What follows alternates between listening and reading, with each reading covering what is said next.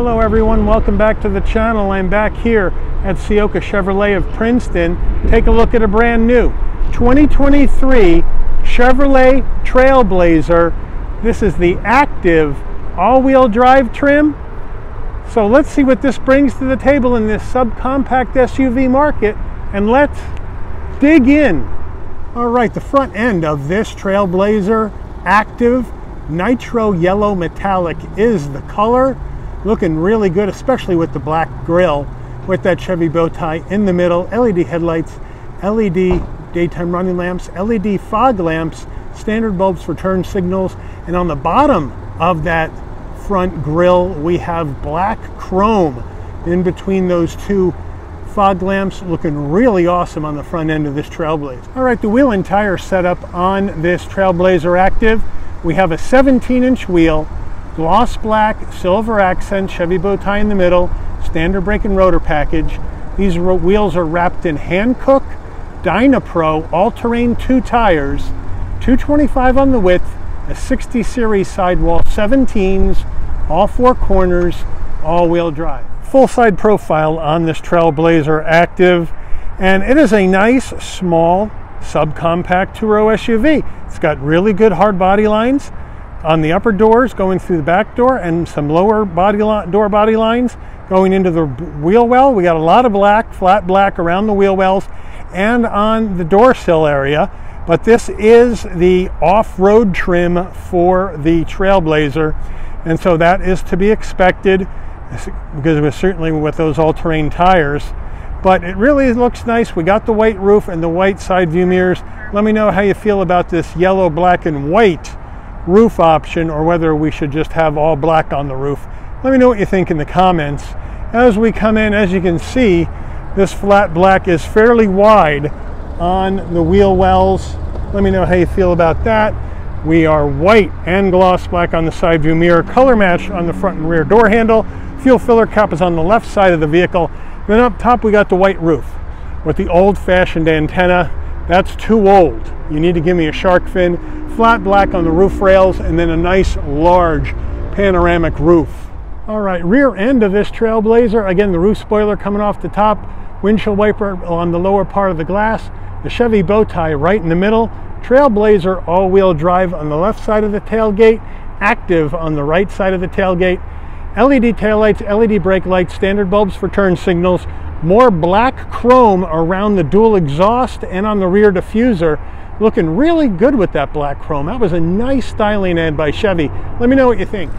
Under the hood of this 2023 Trailblazer, what are we looking at for a power plant? We have a 1.3 liter turbocharged inline three cylinder engine mated to a nine speed automatic transmission. 155 horsepower, 174 pound feet of torque, MPGs 26 in the city, 30 on the highway, 28 combined. The engine's minimum octane rating is 87, so you can run this on regular unleaded gas. All right, before we get into the interior of this Trailblazer, you're going to want to know, Mike, how much does this beautiful nitro yellow metallic Trailblazer cost? Well, MSRP, the way this one is optioned, $33,820 Let's check out the interior. Starting with the footbox, a nice large dead pedal brake and accelerator. All season mats are in the car, carpeted ones are in the tailgate area. We have power seats for the driver with lumbar, but manual assist for the front passenger. And then we get up here, we have leatherette, black leatherette with the stitching. Nice plain design, but very handsome in the way it's designed. Nice bolstering, nice looking interior. Door panel action nice soft touch up top and I like that bronze touch on the trim rather than gloss black. Looks good. We have a chrome door handle.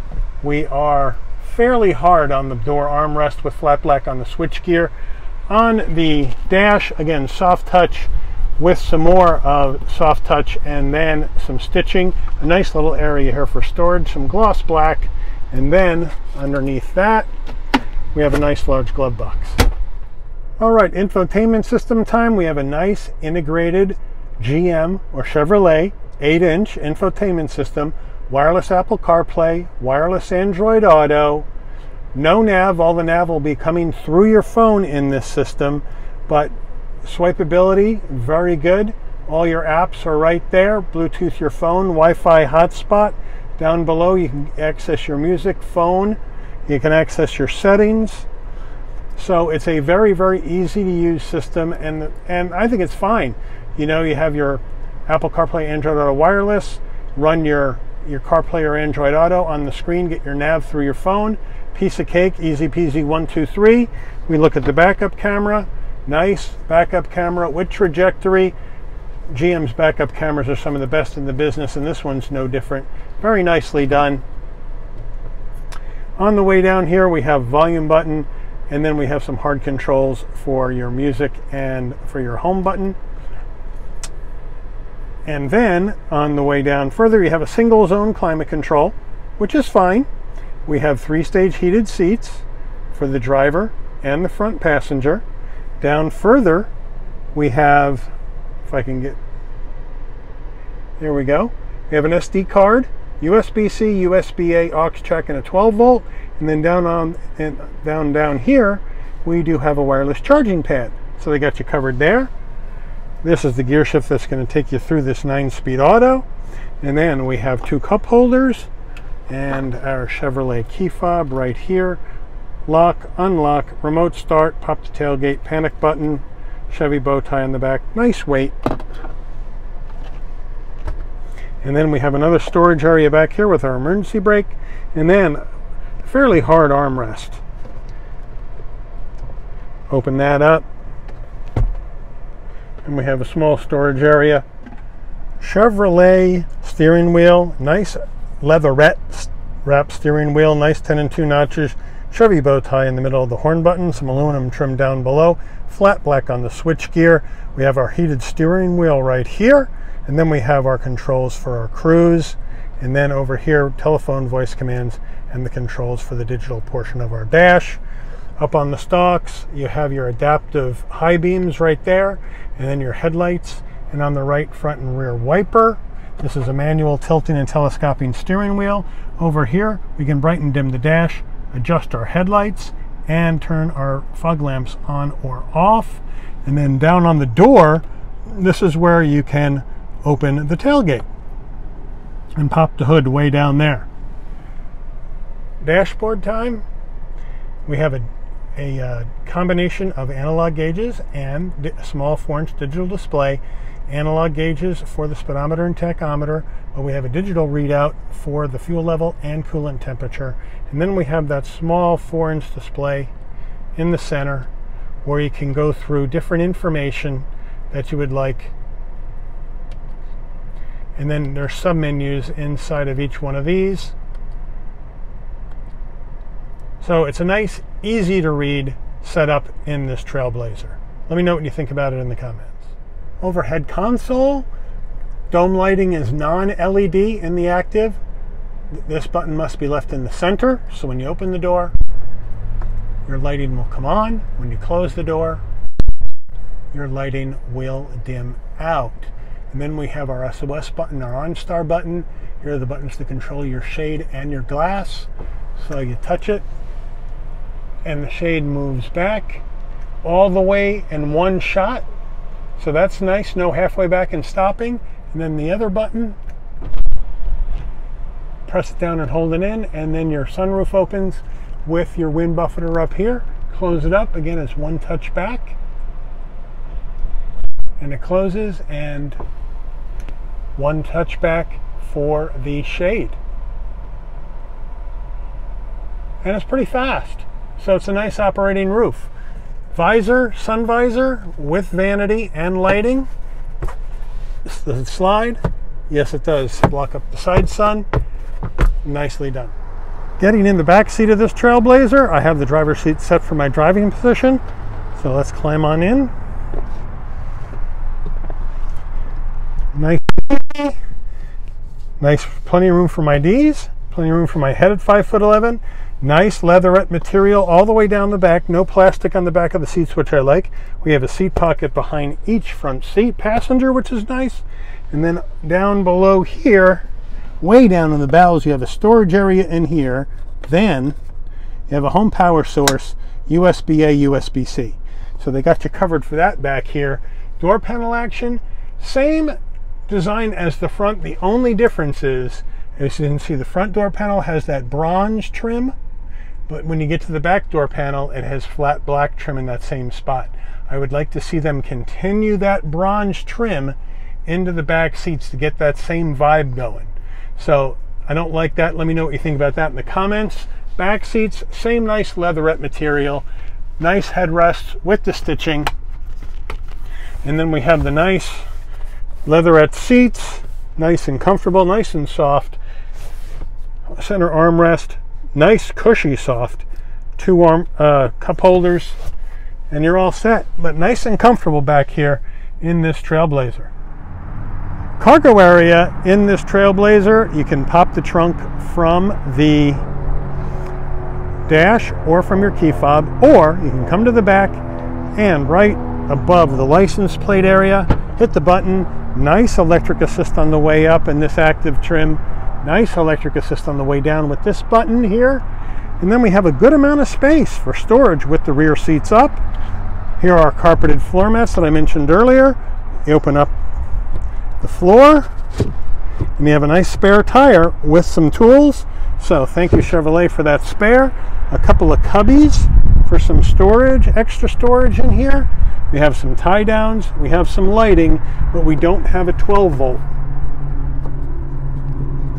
in the back of this Trailblazer. And now, get the rear seats down, hit the button, throw them down, other side, hit the button, throw them down, and now oh, you have a lot more room for those larger items. So for a really small subcompact SUV, it is bringing some pretty good storage base space, I mean, in the back of this Trailblazer Active all-wheel drive. All right, here is the window sticker for this 2023 Trailblazer all-wheel drive active trim. So feel free to pause the video, zoom in, check out everything that's optioned into this Trailblazer, and it has a lot of options. And now, let's take her out for a spin.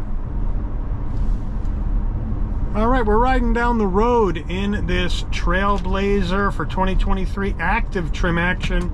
Second highest level of trim that we have here in the Trailblazer. Looking good, feeling good.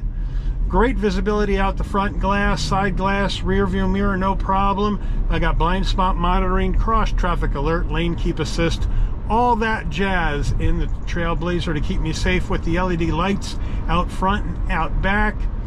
A lot of options in this vehicle. If I forgot to mention earlier down in the center stack, down by the gear shift, I have my auto stop start off, lane keep assist off, traction control off, and my all-wheel drive button. So this thing is going to rock in two-wheel drive high unless you hit that all-wheel drive button and then it'll switch to all-wheel drive. So that's the action on that.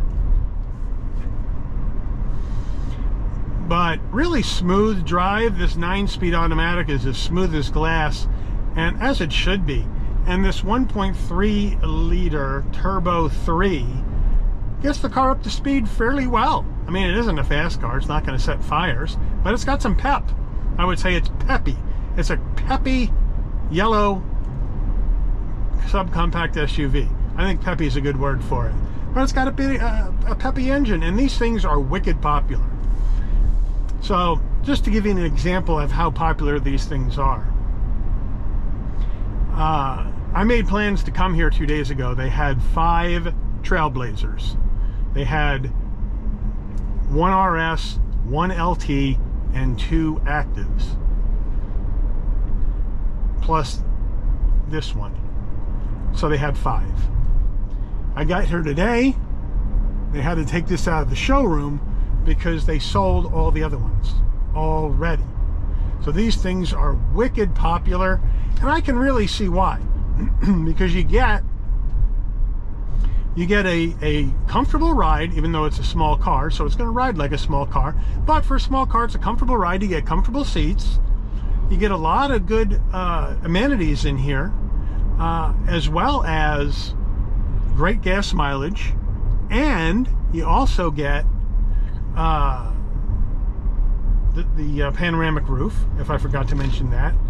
Uh, and you get, you get this peppy engine that really gets the car up and moving down the road well. So it has some nice stuff uh, on this Trailblazer, and I can see why they're so popular.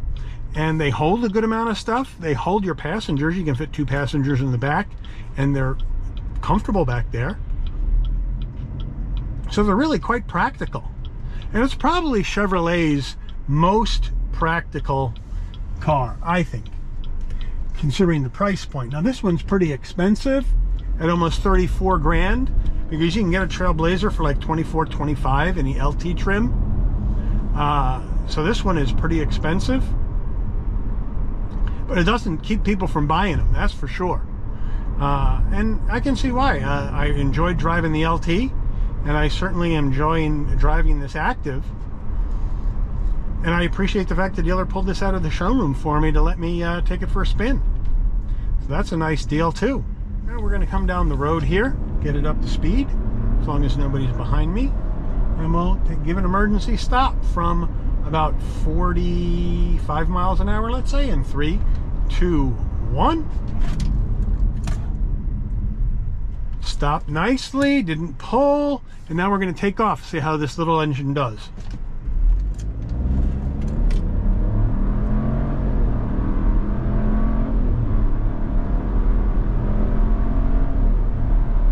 Not fast, but a little peppy. Now we hit the curve, body roll, body roll, and now we're back out of the curve and down the road. So this isn't going to set fires. That's for sure. Not going to set fires at all, but it's going to get you to where you need to go. This is this is a vehicle you're going to buy to commute, errands, if you have kids, school, activities, you take on a road trip, you're going to get good gas mileage. So it's not for the sport fiend, maniac driver uh, to hoon around on the back roads on the weekend. That's just not what this is for. But it provides a pretty darn nice drive, good amenities, good space at a reasonable price.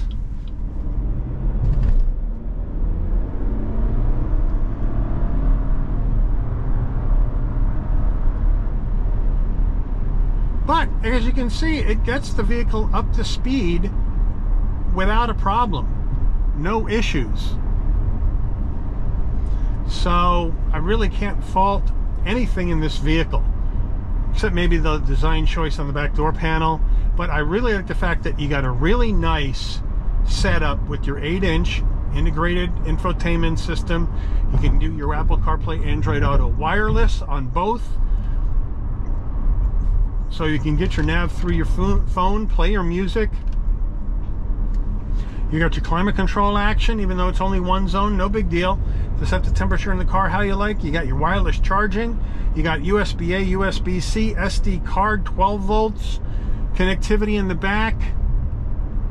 You have space for your passengers, space for your stuff. Would like to see a 12 volt in the cargo area. But other than that, it's a peppy, fun little Trailblazer, and I can see why people like them. Well damped as well. Sidewall tires are soaking up the bumps, and you got all-terrain tires, so you could probably take this out on like a trail heading out to a campsite. But as far as off-roading in this, nah, that's not going to do it. But certainly taking it off the trail to a campsite or something like that, no problem. Gravel roads, no problem serious off-roading? Absolutely not. You just don't have the ground clearance you don't have the skid plates or any of that stuff in here for that. But it makes the all-terrain tires and the wheels make it look cooler and I think it's going for that aesthetic more than anything else. But a really really fun little car to drive. I think Chevy has hit the nail on the head with this 2023 Trailblazer line of vehicles. And you have a few trims to choose from. You know, it starts off with your LS trim, then you can go LT, and then you can come up here to the active, or you can go to the top RS trim level. If you want even more stuff on the inside with that RS cosmetic package added on. So there's a lot of different ways to uh, to equip and to uh, cosmetically change the looks of your Trailblazer however you would like. So I think that's another good a good thing that Chevy has done with this Trailblazer action. That would if you just saw that on the dashboard, that light flashing up, that was your pre-collision brake braking. Let me know the guy in front of me is slowing down and to stop before I run into the back of him. That's what that is for. So that's a nice piece of technology in here as well. Now, I wasn't that close, so I think it's probably pretty darn sensitive. But getting up onto the highway here on Route 1, no issues. And we're up about 70 miles an hour like a big dog, no problem. So a really attractive car if you're in the market for that subcompact two-row non-premium SUV, I would definitely put the 2023 Trailblazer in all its trims on your list to test drive before you make a decision on what you should buy. Because I think you'd be surprised about how good this car is once you get in it because I'm impressed. This is the second one I've driven. We did the LT a few months ago. Now we got the Active and it's just as good. So hats off to Chevy on this car. I want to wrap it up here. I want to thank Ciocca Chevrolet of Princeton for allowing the channel access to this 2023 Chevrolet Trailblazer Active all-wheel drive for review today. I'd like to thank all of you for watching. If you enjoyed this video, please consider giving it a like please also consider subscribing and turn on that notification bell so you'll never miss another Chabby's Rides video. And I'll see all of you on the rebound. Take care, everyone.